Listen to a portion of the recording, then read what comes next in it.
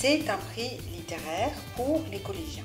C'est-à-dire que euh, les collèges qui sont euh, volontaires hein, pour participer à l'attribution de ce prix euh, vont lire un certain nombre de romans et élire leur roman préféré dans deux catégories, la catégorie 6e, 5e et la catégorie 4e, 3e.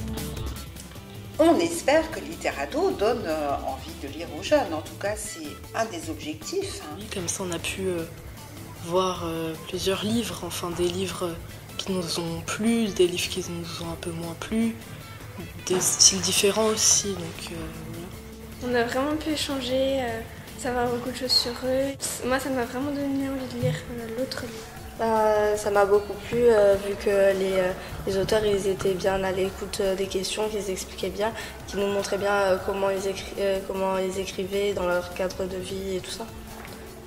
oui, les autodafeurs, ceux qui ne nous tuent pas et la double vie de Castle Rock Mais j'ai aussi beaucoup aimé Chat Noir parce que c'était bien. Il y avait un peu de tout, il y avait un peu d'amour, un peu d'humour, il y avait aussi de l'action, donc j'ai bien aimé. se voir avec nos profs. Parce que c'était bien, c'était une belle aventure quand même.